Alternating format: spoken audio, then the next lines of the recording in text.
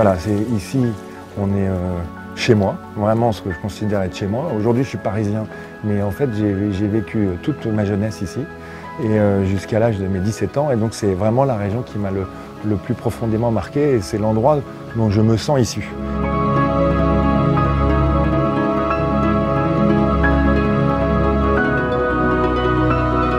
Et donc tout naturellement, quand j'ai créé Évidence des Beautés, j'ai euh, voulu intégrer euh, ces racines dans l'histoire de la marque. Je l'ai intégré de manière très simple.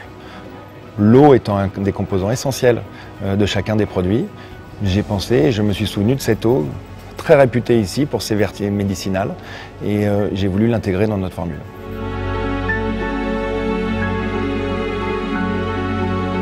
Et je me suis rendu compte que cette eau que j'allais prendre et boire à la fontaine quand j'étais petit, était euh, non seulement réputée ici pour ses propriétés euh, médicinales, mais qu'en plus elle avait une histoire qui remontait à plus de 2000 ans, puisqu'il y a des textes ici à la mairie de Vence qui prouvent que Adrien a envoyé son fils euh, se faire soigner grâce à l'eau de la Fou. Vence était une ville thermale et même l'empereur Néron avait envoyé sa femme être soignée et guérie grâce à l'eau de la Fou.